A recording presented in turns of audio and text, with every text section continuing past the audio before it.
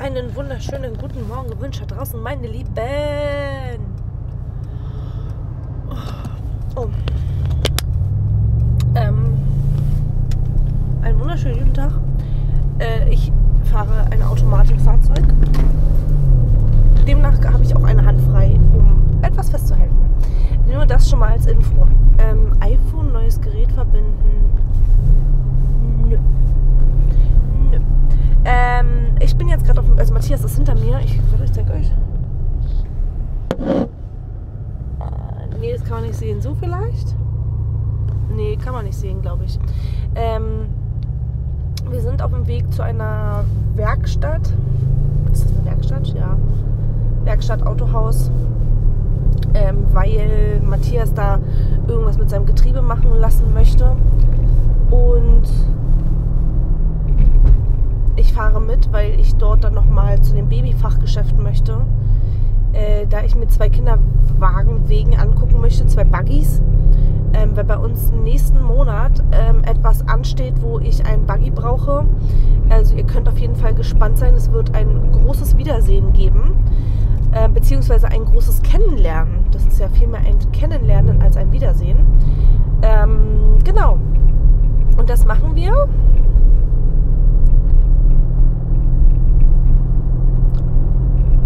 Ja. Genau. Und deswegen fahre ich mit, weil das alles in der gleichen Ecke ist und so muss Matthias nicht laufen. Dann können wir noch was frühstücken. Ich dachte mir, das ist für alle angenehm. So, was wird denn jetzt hier gebaut? Schon eine neue Tankstelle, ja? Tankstelle neben Tankstelle. Das ist immer, was ich nicht checke. Und dann fahre ich kilometerweit und da ist nichts. Nicht eine Tankstelle. Egal. So. Äh, ja, wir nehmen euch mit. Ich nehme euch mit und zeige euch wieder ganz viele verschiedene Eindrücke. Und dann gucken wir, wie es weitergeht. Und jetzt mache ich ein Video. Ja, passt. Das ist gut, ja. Ja, Sehr Zeit schön. läuft runter. Runter? Wieso runter? Hoch. Ach so. Meine Fresse. Was ist denn das hier für eine Schöpfung? Wir gehen zu BK. Oh mein Gott, ich sehe mich ja. Äh, meine Haare sind nicht fettig, ich schwöre. Zeig mal. Wieso sagst Hier du das oben, weil das hier so nass aussieht. Die sehen nicht mal so aus, als wären Doch, sie die sind so, die sehen so fettig aus. Ich gehe auch heute duschen, ich schwöre. Das ist aber nur schaumfestiger. Wirklich. Ja gut, das mache ich ja auch rein und äh, ich finde, dann sehen sie einfach nur nass aus und nicht so... Ja, genau, nass, gleich fettig. Zu welchem Burger King wollten wir dann? Äh, äh Nordmeile. Ah, okay. Ey Mama, wenn die ja kein Halloumi fahren, fahren wir weiter, ne? Wirklich. Mama, Hallo? Ich wollte, hast du mich? Ja? Ich wollte jetzt gleich losgehen und ich habe mich heute Morgen schon echt unwohl gefühlt, ohne Maske zu fahren. War, wo hattest du gesagt, war eine? Dann äh, ansonsten frag bitte Papa, weil ähm, ich glaube, der hat äh, noch welche... Aber das sind halt diese massiven Dinger, ne? Also wie nennt man die? FFP2? Nee. Aber äh, medizinische haben wir nicht mehr. Vielleicht sollte ich noch mal welche kaufen. Ich kann auch vielleicht also einfach solche welche mitbringen von DM. Ja. Ich habe eh noch 25 Euro, ich hatte nur 25 gestern ausgegeben und deswegen habe Masken sind aber teuer, Mara. ich weiß, ich habe mir letztes Mal schon welche gekauft, die haben irgendwie 2,75 Euro gekostet oder so. Wir haben jetzt gerade für zwei Stück 1,60 Euro Ja, ich wollte gerade sagen, also wie viele wolltest du denn holen? Drei für dich selber oder was? Nein, äh, hol dir nur eine, damit du fahren kannst und überall rein kannst und bla. Und äh, ich bestelle mal ein Packen, damit wir ja welche zu Hause haben. Ja, äh, muss ich gucken, ob ich jetzt. Aber keine billigen, die sind sonst so komisch verarbeitet. Ja, ich muss gucken, vielleicht. Aber ihr seid doch mit dem Auto unterwegs. Ja, wir sind jetzt auch schon fertig. Wir sind schon auf dem Rückweg jetzt. Ja, ich bin aber gleich weg. Sie ist gleich, sie fährt in zwei Minuten, ist sie in der Bahn. In Ja, ist ja nicht, ist ja- ist ja nicht schlimm. Guck nach, ob ich was in den Schubladen habe, aber ich glaube eher nicht. Oder frag Papa. Wie gesagt, ich glaube, er hat da auch noch eine Packung. Wann machen wir wieder Börekstangen? Kann man alles bei äh, Dings kaufen, ne? Wollen wir da einkaufen gehen? Nee, da fahre ich jetzt nicht hin. Mann, Mama, du bist so schamlos. Wo kann man das kaufen? Äh, Kaufland Eiche. Ach so. Es gibt aber auch bei unserem Edeka richtig viel so Stuff. Wir gehen nicht zu Edeka. Wer, wo, wann, wann denn? Wo, wohin denn? Warum? Wir fahren jetzt gleich zu Rewe. Nur wegen Cola, Digga? Ja klar, ey. Meinst du, ich war wegen irgendwas anderem nochmal woanders hin? Kannst du dich auch mal ein bisschen filmen? Nein. Ich habe schon meine Winterjacke an. Und? Jetzt? Mama, nein. Ja, das ist die äh, ultimative Umfrage. Tragt ihr schon eure Winterjacke? Nein. Weil Marleen hat ähm, eiskalt ihre 700er äh, Winterjacke an, ohne Kapuze. Und Aber eine Thermoleggings. Thermostrumpfhose. unter der Jeans, erzähl mir. 11,5 Grad. Und ich so. Voll kalt, ja. Wenn Minusgrade sind, gehe ich nicht mehr raus. Also nur, dass es dir bewusst ist, dann frage ich Homeschooling an. Dass ich im Laptop da in der Klasse stehen darf, weil ich fahre da nicht nochmal hin. Es wird zu kalt. Vor allem, die zahlen auch keine Heizkosten, deswegen machen die da auch nicht warm. Die, die müssen, glaube ich, noch 19 Grad heizen oder so. Mhm, machen sie nicht. Wir saßen letztes Jahr schon im Winter mit Schal da und dieses Jahr wird bestimmt noch schlimmer wegen dem Klimawandel. Klimawandel? Wieso Klimawandel? Nee, das ist nur wegen der Stromkosten und der Gaskosten. Hey, deswegen wird es doch draußen nicht kälter. Ach, das meinst du? Ich meine, ja, ich meine jetzt, die dürfen nicht heizen wegen der Sachen, meine ich. Ey, lass mal frühstücken gehen. Hatte ich heute schon. Dann lass Freitag. Ja, müssen wir. Weil ich habe da erst so spät Schule und danach fahre ich ja direkt weg. Dann haben wir noch vorher so ein Date, bevor ich weg bin. Dann musst du aber die Schulsachen mitnehmen. Dann fährst du mich dahin. Nein, aber ich kann dich ja dann da Mama, irgendwo das ist in Brandenburg. Brandenburg. Deine Schule ist in Brandenburg? Nein, Eiche ist in Brandenburg. Von da komme ich nicht weg. Ich setze dich am nächsten Bahnhof ab. So, wir sind wieder zu Hause, unschwer zu erkennen. Und Matthias hat mir hier schon Sachen auf dem. Ich weiß nicht gar nicht, ob du das warst. Warst du das? Der hat mir hier. Ähm,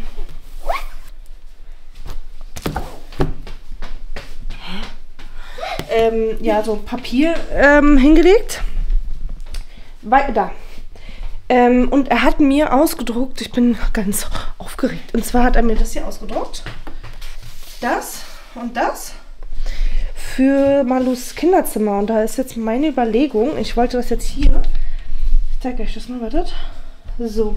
Also es ist ja dieses bräunliche und das ist ja so Vanille. Und jetzt wollte ich das hier drauf machen mit sowas oder halt sowas. Habe ich auch so bräunliche Töne oder bläuliche. Und dann habe ich mir noch das hier geholt. Ganz viele so eine, na ihr seht schon, da.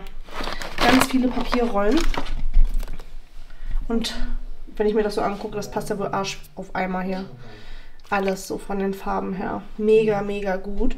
Und die Bilder sollen dann hier reinkommen. In diese Eiche. Äh, wie nennt man das? Eiche. Rahmen. Genau. Und das soll dann mal ins Zimmer kommen. Und da wollte ich jetzt eigentlich das mal zusammenbasteln, aber ich glaube, das geht gerade nicht, weil die Kleine noch spielen möchte. Ich glaube, das kann ich gleich erst machen, wenn Mini Motti Lotti gleich müde ist und schlafen will. Hier ist noch ein Fruchtgläschen. Ja, wollt ihr erst mal ein Fruchtgläschen essen? Erst wenn du deine Sachen alle gemacht hast. Maris hat im Übrigen morgen, ähm, morgen Wandertag und da muss ich mit ihm jetzt gleich noch die Klamotten raussuchen. Wartet mal. Nee, das glaube ich, das geht nicht richtig zu. Da ist irgendeine Jacke pufferig. Ich weiß nicht, ob ich das jetzt schaffe mit ihr und. Gehst du mit nach Essen? Nach Chips? Maris, hast du Chips gegessen? Nein. Ich Mama? hab Chips gegessen. Ja, dann ist es wegen dir. Wenn du Chips isst und das Kind knuddelt, dann riecht sie nach Chips. Ist doch wohl klar. Pampers und Feuchttücher-Nachschub. Ach so, deine Regensachen. Nur eine wenigen Jacke hat sie gesagt. Sicher? Ja, der hat keine Regenhose gesagt. Welchen Rucksack nehmen wir jetzt eigentlich? Äh, Mara wollte dir einen braunen holen. Mara? Die ist nicht da. Oh.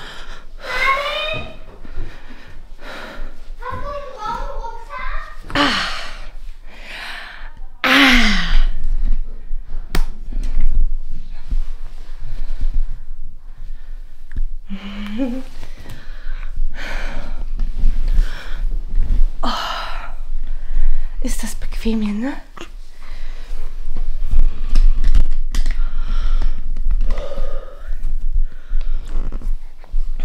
Was machst du?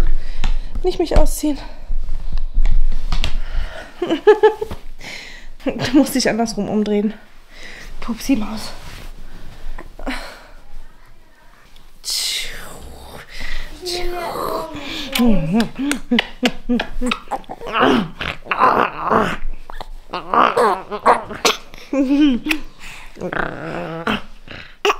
Ja.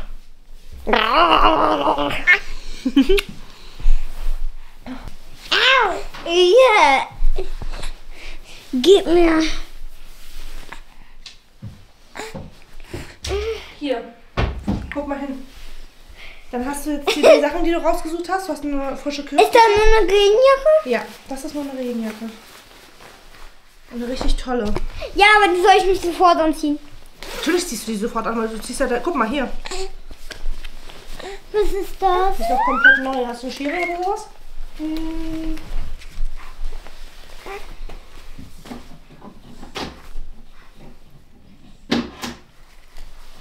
Ach, hier oben liegt doch einer eine.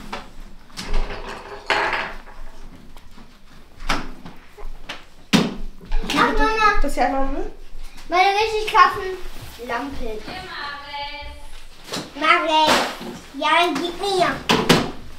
Geh mal schnell holen. Ist schon unten.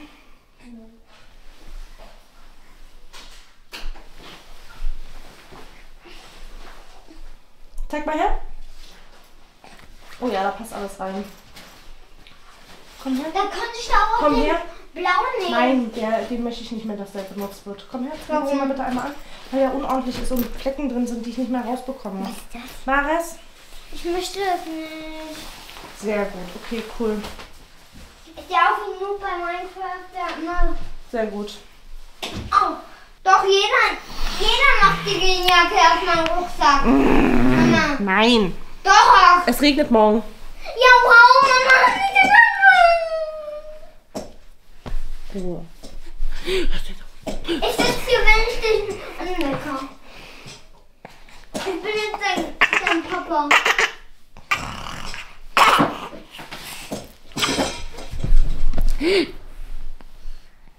Pass auf, bitte. Pass auf, dass sie nicht runterfällt.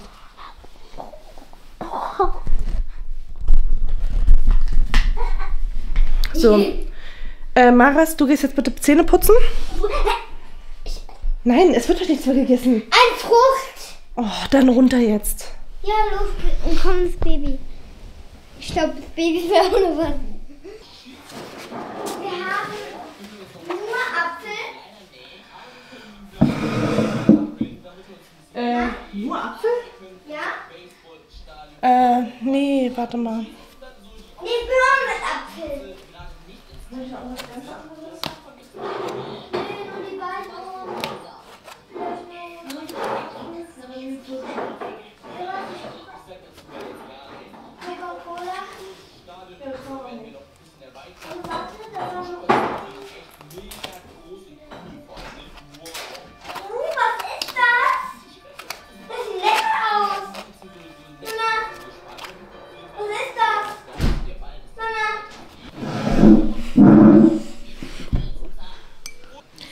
Zeige dir gleich auf meinem Handy eine Jacke, die ich dir gerne holen wollen würde. Und du sagst mir, wie du sie findest, okay? Ich dachte mir, also ich wollte die vorhin auch schon einfach kaufen. Mit einem Pullover zusammen von Pikachu. Aber der war leider ausverkauft in deiner Größe. Deswegen habe ich gesagt, okay, gut, dann zeige ich dir die Jacke erst. Mit Pikachu drauf? Nee, die Jacke hat kein Pikachu. Das ist so mit so Teddyfell. Voll geil. Und welcher Pullover? Der Pullover war weiß mit Pikachu drauf, aber wie gesagt, der ist ja ausverkauft. Warum? Ich mögen so viele Pikachu jetzt. Hm? Ich mögen jetzt so viele Pokémon. Mama, Obwohl, wir könnten Marleen fragen, ob sie gucken geht. wie mit wem? Sie könnte ja mit Pepe äh, in die Innenstadt gehen und gucken, ob, äh, ob der Pullover da noch liegt. Wo liegt? Na, da in dem Laden. Weil online ist er ausverkauft. Aber du warst eigentlich schon frech zu ihr, ne? Nein, was nicht. Weil sie kam ja runter zu mir und meinte zu mir, dass, äh, dass ich ihr eine Strafe geben soll. Hey, ich du nur, komische Sachen gemacht ich hab- hast. ich hab doch nur was anderes angemacht, nee, mehr nicht. Hör auf. verarsch mich. Okay, ich veröffentliche mich. Du musst immer ein bisschen hoch machen, guck mal so. Dass sie das immer so nach oben machen, damit sie das aus dieser Kuhle rausbekommt, weißt du? Na, fast. Du musst es im Mund nach oben machen, nicht danach. Warte, warte, warte, sie muss es mal runterschubsen. Jetzt. Ja, klasse. Und dann immer mit dem Löffel noch mal ein bisschen die Schnute abwischen.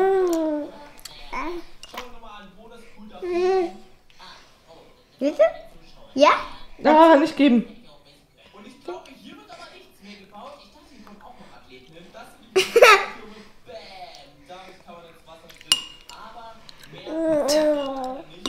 Ja gut, das geht, aber das heißt auf jeden Fall nicht, dass ich es neu drehen muss. Ähm, ist immer so. Ne? Man, man schickt dann das Video weg, wovon man selbst so überzeugt ist, was einem richtig gut gefällt. Und dann kommt der Kunde und ähm, friemelt an deinem, an deinem Werk rum. Also okay, bei der, ich muss sagen, bei der Musik haben wir uns wirklich schwer getan. Matthias auch, total.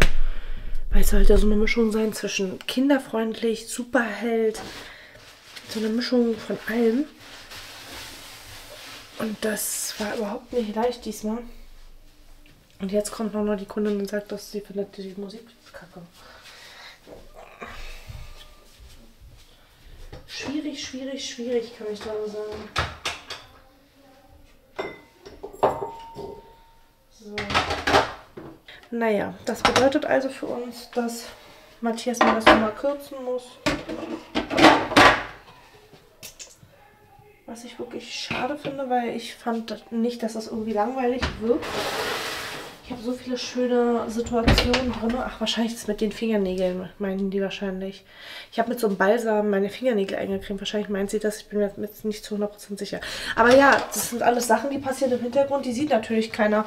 Und ich habe teilweise, also ich habe immer Firmen, wo ich vorproduzieren muss. Immer. Das sind dann so große. Ja? Habe ich schon auf. Danke. Das sind dann so große Firmen wie Bayer, hier dieses Lifax oder was, was war das jetzt? Das kann ich euch noch gar nicht sagen. Ich habe einen Verschwiegenheits, ähm, Verschwiegenheitsvertrag unterschrieben. Das ist krass. Also es gibt teilweise Kooperationen. Plaudere jetzt hier mal aus dem Nähkästchen. Da erfahre ich nicht mal, um was es sich handelt für eine Kooperation. Ich muss, bevor ich es erfahre, schon eine Verschwiegenheitserklärung unterschreiben, dass ich nichts erzähle. Verrückt, oder? Ja. Und dieses Produkt wurde noch nicht gelauncht. Das passiert erst. Und deswegen äh, darf ich darüber noch nichts erzählen. Aber ich kann euch sagen, es ist wieder eine sehr, sehr süße Sache gewesen. Es ist ein Produkt, was ihr kennt aus der Drogerie. Ähm, wo da was Neues rauskommt. Ich verstehe nicht, warum man nicht drüber reden darf. Vielleicht, weil die Konkurrenz und sowas nachmacht oder so. Ich bin mir nicht sicher. Auf jeden Fall sehr schönes Produkt. Hat echt Spaß gemacht, die Produktion. Auch wenn Matthias erst einen Nerv- Nervenzusammenbruch bekommen hat. Bei welchen? Bei dem letzten jetzt, was wir gemacht haben. Ja, aber da muss ja noch mal ran. Ja, du musst da nochmal ran. Aber es ist so schwer. Nee, ist es auch nicht. Ähm, ja. Wir sind hier noch ein bisschen am Struggle mit der ähm, Heizung, weil hier ist ja alles neu verlegt worden und alles neu gemacht und so. Ähm, und ich glaube, wir können jetzt langsam mal Erfolge verzeichnen.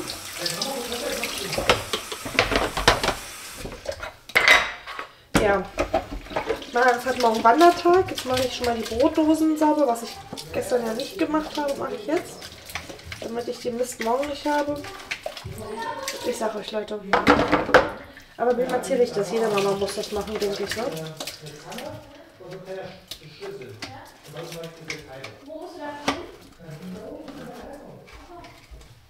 So. Dosen sind ausgewaschen, liegen zum Trocknen bereit. Ich weiß nicht, was mit der Pfanne hier ist, aber egal. Ähm, ja, ich sage euch, Leute. Meine Mini-Motti-Lotte liegt hier hinten bereit zum Fernsehen gucken.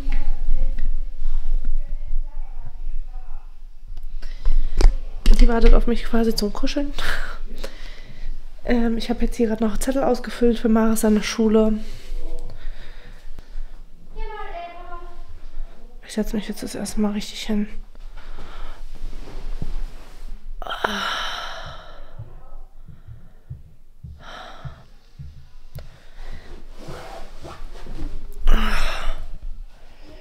So.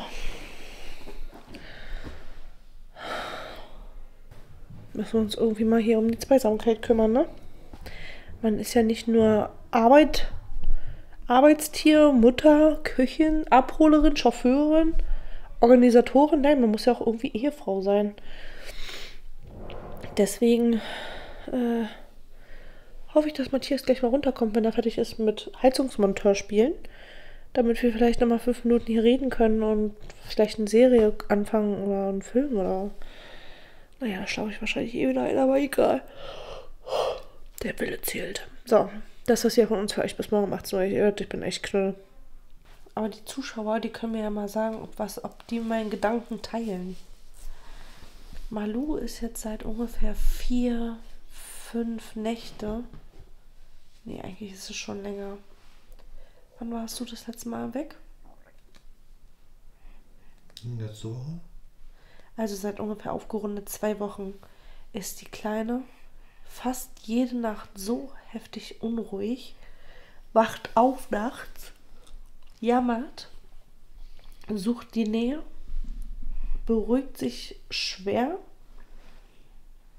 Ähm, ich glaube, dass das ist, dass sie zu viele Eindrücke hat und die nicht verarbeiten kann, beziehungsweise einfach voll die Reizüberflutung ist, dass sie.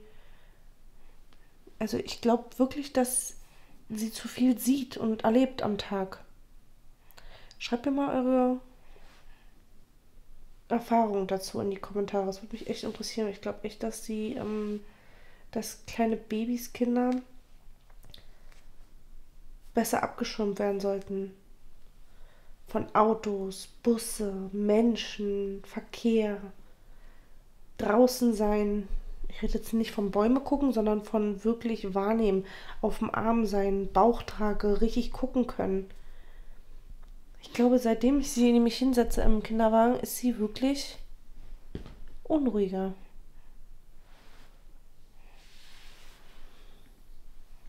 Schreibt mir das mal in die Kommentare, ich bin gespannt. Und Maris hat schon angefangen, Halloween zu schmücken, Matti. Das den, den ich ausgedruckt habe? Ja, Hat er ausgeschnitten, ja? hat er ausgeschnitten und daran geklebt. Okay. Zeigt es den Leuten. Nee, das sieht man nicht. Klar. Da.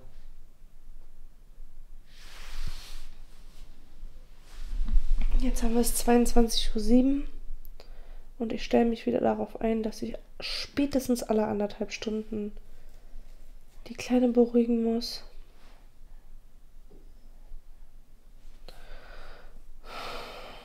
Lass doch wieder Blech bei dir um Bauch liegen. Habe ich auch gerade schon überlegt. Und morgen lassen wir sie einfach mal komplett zu Hause und dann gucken wir mal, wie die, Nacht wird morgen. So, dass es sich langweilt.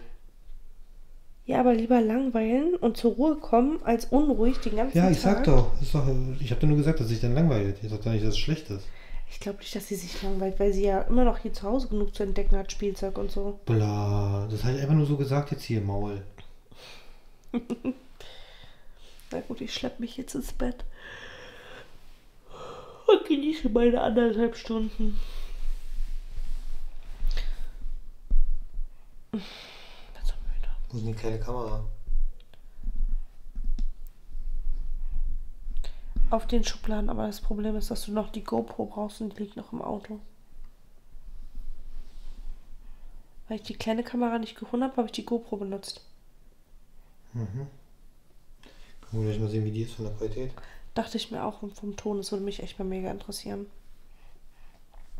Gut, ich gehe jetzt nach unten ins Schlafzimmer, kuschel die kleine Maus ein und ich glaube, ich behalte sie gleich bei mir. Statt im Beistellbett, auch wenn die, der Abstand ja gar nicht so groß ist. Äh, glaube ich, brauchst du das gerade. Und ich habe auch gemerkt im Auto, wenn sie da unruhig ist, es reicht, wenn ich es schaffe, ihre Hand zu nehmen und sie zu kraulen. Dadurch lässt sie sich schon beruhigen. Das geht aber auch nur in dem kleinen Auto. In dem großen Auto habe ich nicht mal ansatzweise die Möglichkeit, an sie ranzukommen. Na egal. Ich werde berichten, wie meine Nacht war morgen früh. Aber ich sage euch jetzt schon, das ist bescheiden ohne Ende. Ich sitze ja jetzt hier schon die ne- letzten, die letzten zwei Stunden war das jetzt, ne? Nimm fünf morgen nochmal, wa? Ja, ich sag darüber auch nochmal was. Aber sag mal jetzt, die letzten zwei Stunden ist sie wie auf wach geworden? Dreimal, ne? Ja. Ja gut, aber es ist auch immer was laut hier. Na, ich weiß nicht.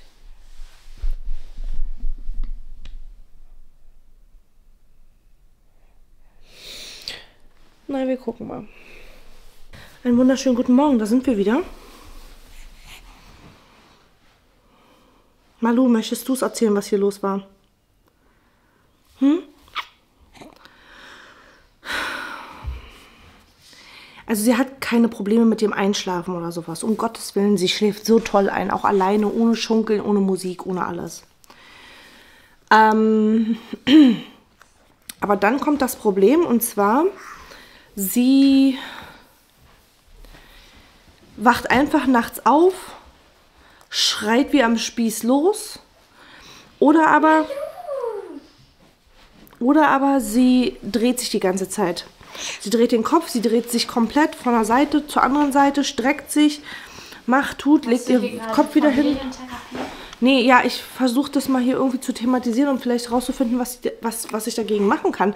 Vielleicht zeigen wir ihr zu viel am Tag, weißt du?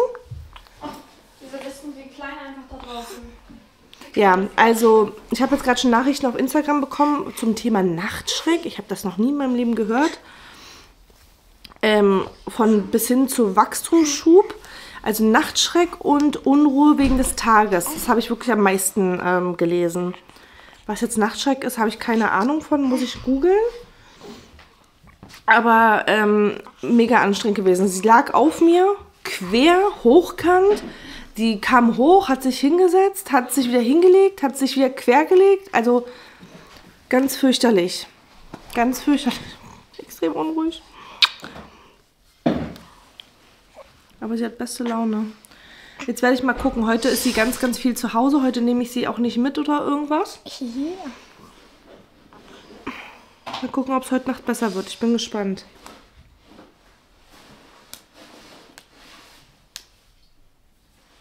So, jetzt genug Bericht erstattet. Ich bin auf eure Kommentare gespannt. Kommentiert bitte fleißig und helft mir. Das ist ja von uns für euch bis morgen um 18 Uhr. Tschüss Tschüss. und gute Nacht. Gute Nacht.